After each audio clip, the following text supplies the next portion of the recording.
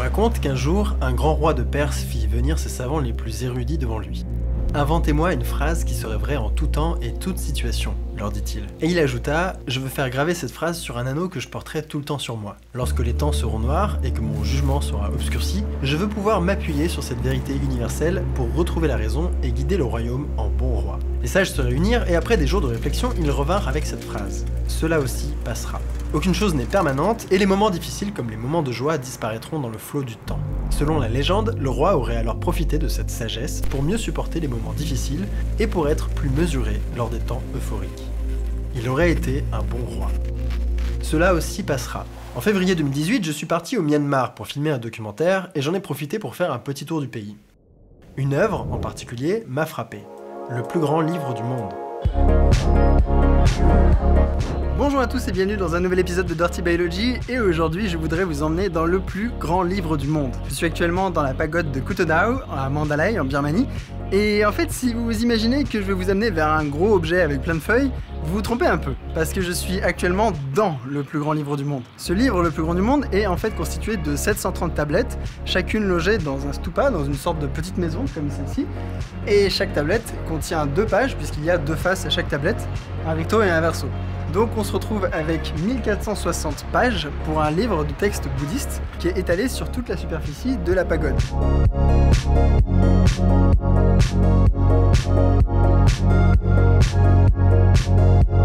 Ce projet a été initié par l'ancien roi de Birmanie à la fin du 19e siècle, et l'idée était de conserver le Tripitaka, donc un texte bouddhiste, sur un support très durable pour que les textes bouddhistes puissent être accessibles aux croyants sur une très très longue durée. Le site royal de Kutodao impose le respect. Cette œuvre monumentale, qui pèse plus de 430 tonnes, représente l'espoir d'un monarque de freiner le processus spontané de la dégradation causée par le temps, bref, de laisser une trace. Dans le dictionnaire des chagrins obscurs, le mot mori désigne notre réflexe de capturer des moments, des expériences fugaces. Essayer de sauvegarder un point du temps, comme pour mettre sa vie en pause, ou de figer quelque part ses connaissances, que ce soit pour nous ou pour les partager à d'autres. Il y a là plusieurs pulsions, celle de stocker sous une forme durable les instants qui s'évaporent et les communiquer avec des gens qui ne sont pas encore nés. Et peut-être même l'envie de ne pas être complètement oublié dans le flot de l'histoire. La volonté du roi de créer quelque chose d'impérissable pour plusieurs millénaires avec du marbre et de l'or n'est pas très originale. Les capsules temporelles sont des tentatives de laisser un témoignage aux générations futures, et c'est un concept qui remonte aussi loin que la première fiction écrite de l'humanité. L'épopée de Gilgamesh commence avec des instructions pour trouver une boîte en cuivre enfouie dans le mur d'enceinte de la ville d'Oruk. Dans cette boîte, on serait censé trouver la légende de Gilgamesh, écrite sur des tablettes en lapis lazuli. Aujourd'hui, ces capsules se déclinent dans de nombreuses versions, dont les plus spectaculaires sont en orbite. Le projet Keo vise à envoyer des messages pour le futur dans une sonde qui retournera sur Terre dans 50 000 ans. La sonde partira a priori en 2019. Mais le projet le plus impressionnant et de plus long terme est EcoStar 16, un satellite de communication qui transporte des photos de l'humanité dans une capsule scellée et qui pourrait revenir sur Terre dans des millions, voire des milliards d'années. Rappelez-vous de nous, voilà comment nous étions, voici ce en quoi nous croyons, semble être un peu le message derrière ces différents projets, que ce soit les satellites ou la pagode de Kutodao. Pourtant, l'univers semble être assez peu concerné par notre volonté de laisser une marque. Les inscriptions de la pagode de Kutodao elle-même étaient à l'origine remplies de peintures d'or, mais celles-ci ont disparu avec le temps. Tout se désagrège et comme dans le conte perse, que ce soit de l'or ou du marbre, cela aussi passera. Le Myanmar est par son histoire une illustration incroyable de ce conte, et je voulais continuer à creuser cette réflexion. Avant de se nommer Myanmar, la Birmanie a porté de nombreux noms. Les cités États de Piu ont laissé la place au royaume de Bagan, lui-même s'écroulant pour donner les royaumes de Ava et d'Antawadi, puis de Tangu, etc. Les capitales ont changé avec les royaumes, ce qui a donné un patrimoine archéologique avec de nombreux sites majeurs, et je suis allé visiter l'un d'entre eux, Ava, la capitale du royaume du même nom. Donc faut traverser le fleuve et de l'autre côté, là-bas, c'est Unwa, qui est l'ancienne capitale euh, de l'Empire Ava.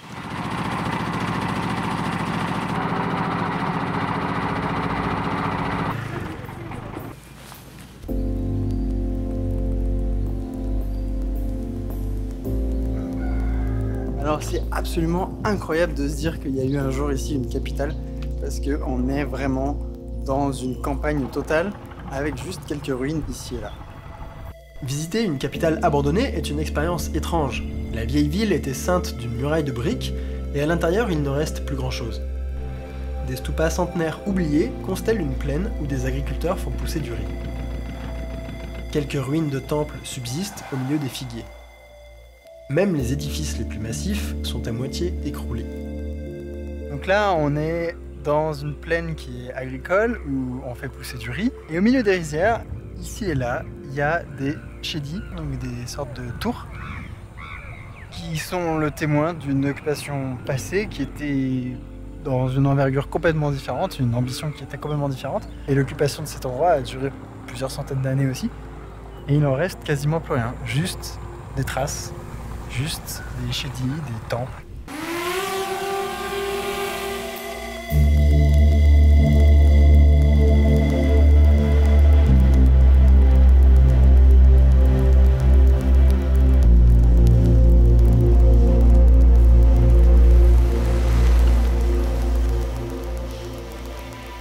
Il faut beaucoup d'imagination pour visualiser ce à quoi ressemblait la ville lorsqu'elle était le centre du royaume d'Ava. Ici, il y avait des marchands, des maisons privées, des rues. Des gens ont passé leur vie à accumuler des biens là, des intrigues et des drames et des heureux événements ont eu lieu, invisibles à nos yeux aujourd'hui. La ville a été fondée au XIVe siècle. Au même moment, la France subissait encore les conséquences de la peste noire et était engluée dans la guerre de Cent Ans. Pendant deux siècles, Ava a été le cœur de l'âge d'or birman. Elle a perdu son statut de capitale avec des invasions avant de le retrouver, puis de le reperdre, puis de le retrouver, et ainsi quatre fois différentes au cours de son histoire. C'est ici, au confluent de deux rivières, dont l'Iriwadi, que la capitale a été fondée. Mais aujourd'hui, il n'en reste plus rien, parce qu'en fait, cette capitale a été détruite par des tremblements de terre. En 1839, il y a moins de 200 ans, Ava était encore une capitale. Aujourd'hui, il ne reste que quelques tas de briques au milieu de champs de riz. Bref, quelle que soit l'ampleur d'une capitale ou la taille des constructions les plus massives, tout finit par disparaître. Cela aussi passera. La différence entre le passé et le présent de Ava est impressionnant et il est difficile de ne pas faire de parallèle avec nos propres villes. Que restera-t-il de l'appartement dans lequel j'habite d'ici seulement quelques années? De ma rue ou de ma ville? Il y avait aussi une forme d'ironie à essayer de figer ces bâtiments et ces paysages à travers mon objectif, de convertir les instants sur place en mémoire physique dans une capitale dont il ne reste plus que quelques vestiges, dont la mémoire a justement disparu. Mais aucun autre endroit du Myanmar n'évoque aussi bien l'action du temps que le site le plus célèbre du pays, Bagan.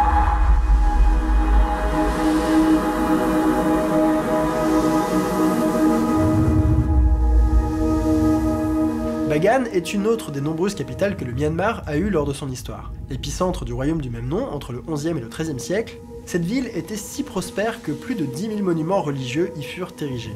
La cité attirait des érudits, des marchands, des religieux, et entre 100 et 200 000 personnes auraient vécu dans cette atmosphère florissante. À la fin du XIIIe siècle, des invasions mongoles répétées ont fini par faire s'effondrer le royaume de Bagan, et il est aujourd'hui difficile de se représenter ce à quoi ressemblait la capitale de l'époque.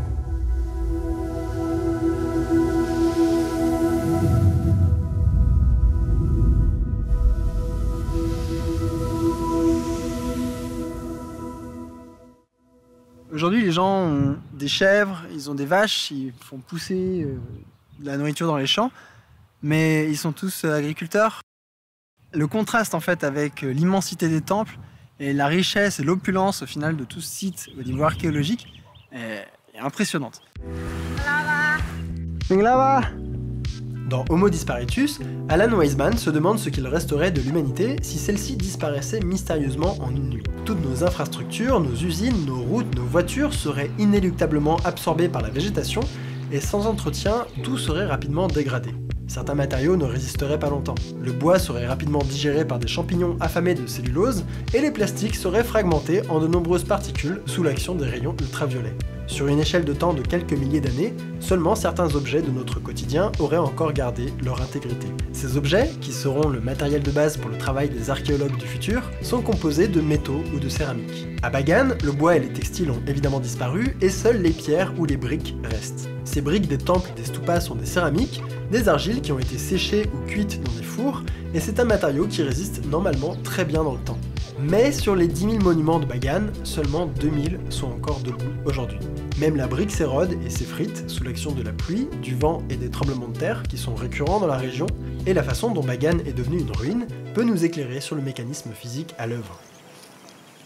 Chaque brique est, comme tous les objets de l'univers, constituée d'un très grand nombre de particules, les atomes. Pour que ce soit plus simple, imaginons que la brique est une boîte avec seulement 3 atomes de briques qui peuvent changer de position à l'intérieur. Chaque atome peut être soit à gauche, soit à droite. Sur les 8 conformations possibles de ces particules dans la boîte, seules 2 ont les 3 particules dans un seul côté de la boîte. Les conformations où tous les atomes sont alignés sont beaucoup plus rares que les conformations où ces atomes sont répartis de façon homogène. La mesure de ce nombre d'arrangements s'appelle l'entropie. Maintenant, imaginons que l'on place arbitrairement tous les atomes sur la gauche de la boîte. Avec le temps, les particules vont se déplacer et passer en moyenne la moitié de leur temps à gauche et la moitié de leur temps à droite. Même en ordonnant des atomes au départ, leur nombre d'arrangements possibles dans la boîte augmentera avec le temps. Dans un vrai système physique, il n'y a pas trois atomes mais des quantités gigantesques, et par un simple effet statistique, les atomes ont beaucoup plus de chances d'être dispersés de façon homogène que tous dans un coin. Avec le temps, les systèmes fermés vont vers des états où il peut exister le plus grand nombre d'arrangements. L'entropie ne peut qu'augmenter, c'est la seconde loi de la thermodynamique.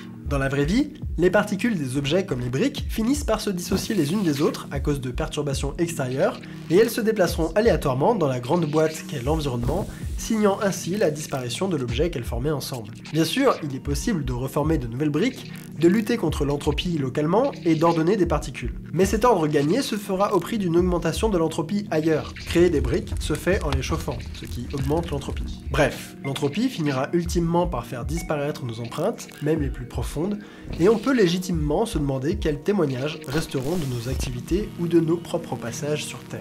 En réalisant que les tablettes de granit du roi Mindon ne sont qu'une solution très et que l'univers prendra tout le temps qu'il faudra pour réduire cette information en poussière, on peut se dire que l'on est insignifiant. La durée de vie de cette vidéo ne sera bien sûr qu'un blip infinitésimal à l'échelle des choses. Vous, moi, Internet, les environnements dans lesquels nous évoluons, nos souvenirs, ce qui nous tient à cœur, et même ce qui nous semble indestructible, tout ceci finira par disparaître.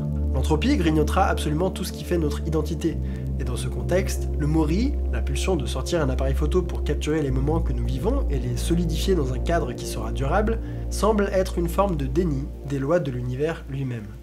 Cependant, on peut retourner le problème. Il existe une interprétation de la thermodynamique qui dit que ce n'est pas le temps qui crée l'entropie, mais l'inverse. L'entropie crée le temps.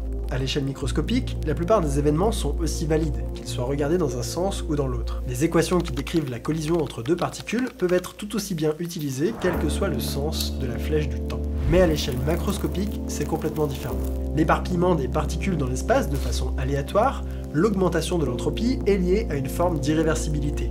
Et selon certains chercheurs, c'est précisément ce phénomène physique qui donne une flèche au temps. L'entropie créerait le sens du temps.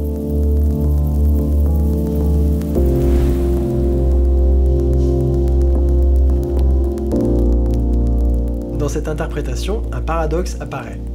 Vouloir laisser une trace à travers les années qui passeront après nos morts et lutter contre l'entropie revient à se battre contre le phénomène même qui est à l'origine du temps. Sans cette dispersion inéluctable, il n'y aurait aucun message à faire passer au futur, car il n'y aurait pas de futur. Les moments que l'on veut sauvegarder pour qu'ils ne s'évaporent pas n'auraient pas lieu si l'entropie n'agissait pas pour qu'ils s'évaporent. Aucun objet, événement ou connaissance que l'on essaye de sauvegarder de cette destruction n'existerait sans cette destruction. L'impermanence des choses est une propriété fondamentale de l'univers, et que l'on soit une capitale millénaire ou un roi birman, une seule chose est sûre, c'est que cela aussi passera.